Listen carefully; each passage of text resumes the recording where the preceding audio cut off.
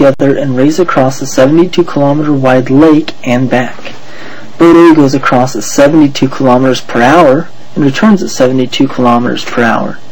Boat B goes across at 36 kilometers per hour and its crew, realizing how far behind it is getting, returns at 108 kilometers per hour. Turnaround times are negligible, and the boat that, compete, that completes the round trip first wins. Which boat wins? By how much? What is the average velocity of the winning boat? Okay, so what we know is we have a, a, a lake. So we've got a blue lake here, it's all blue lake. And we know that the distance across this lake is 72 kilometers. You uh, in the reading it says that that boat A travels at 72 kilometers per hour. It doesn't take a lot of math to figure out that it took boat A one hour to get across. One hour. And uh, he returned and went the same speed going back. So it took him another hour to get back.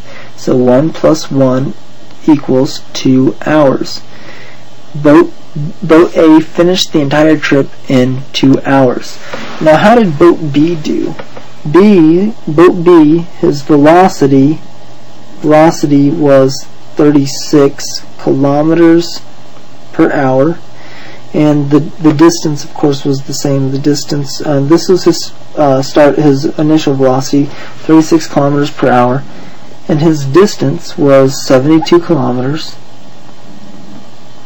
And then his uh, his second uh, leg of his trip he was 108 kilometers per hour and distance again equaled 72 kilometers for the round trip what we have to do before we get to uh, boat B is we have to figure out how do we solve time uh, we know that velocity equals distance over time. So how do we solve for time?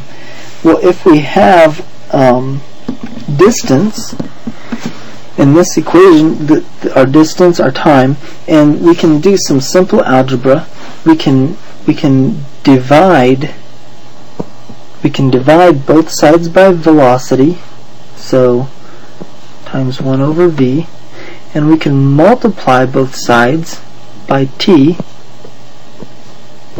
and that gets our our time by itself because v over v equals 1 so that cancels out and then the t cancels out and then we we end we end up with time equals distance over velocity so distance over velocity we know that he competed his first leg his 72 kilometers that's his distance and 36 kilometers per hour that's going to give us our time. The kilometers are going to cancel out. We're going to get time. So how how long did that take him? That 72 by 36 equals 2. It took him 2 hours to get the entire way across. We know that boat A got across and all the way back in 2 hours. So the distance that boat A traveled in 2 hours, boat B made half of that distance in the same amount of time, He was going half the speed. So it, wants to know not only who won, but by how much. So we know that boat A won in one and in two hours, and boat B um, he started going back. He was going back at uh, one. Uh, 108 kilometers per hour, so we can do 108 um, 70, 72 is our distance, 72 kilometers divided by 108 kph is our is our speed and that equals give me just a second equals 0.67 hours which is approximately what it is 40 minutes when you convert. Um, let me show you how I got that. So I had um, 0.67 hours over 1 and I know that there I can multiply that by 1 and it'll still be the same so uh, any number over itself 60 minutes and 1 hour are equal so being that they're equal we divide it by itself it equals 1 So we can do some dimensional analysis and cancel out the hours. And 0.67 times 60 equals 40. So 40 minutes. And that's the units we're left with is minutes. So all we've done is we've figured out that it took boat B 2 hours and 40 minutes or 2.67 hours to finish the entire race. But we know where he was whenever boat whenever boat A finished the race in 2 hours. We know that boat B had just gotten across the pond. So boat A actually won by 72 kilometers because he he still had 72 kilometers left to go.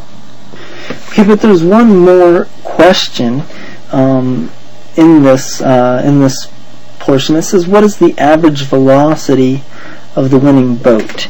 Now, here's where I have to explain the difference between speed and velocity. Um, if I go on a circuitous route around this circle, then th my speed is the distance the uh, so let's uh, pretend this is a circle, and this diameter of this circle is um, is one foot. If I travel around a one foot circle, then the, the circumference is 3.14 feet. And let's say it took me one second, then I would be traveling at 3.14 feet per second. That's my speed.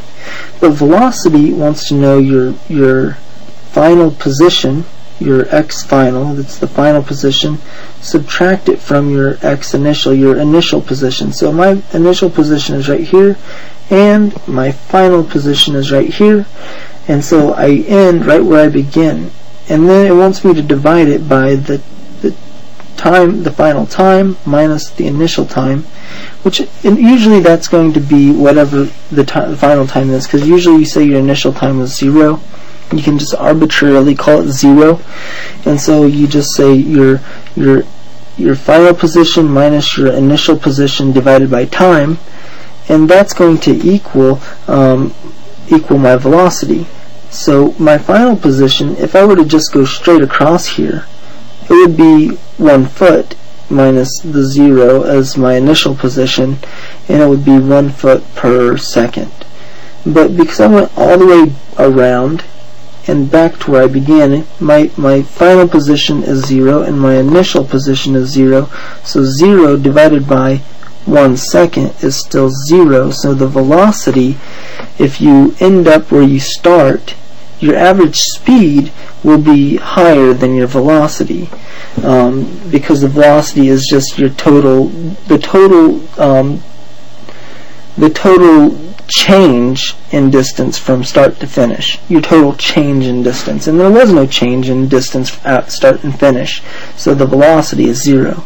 And so when it asks the velocity of the winning boat, we know that the winning boat ended right where it started. So we do 0 minus 0 divided by the time was 2 hours, and it still equals 0 kilometers per hour for the velocity.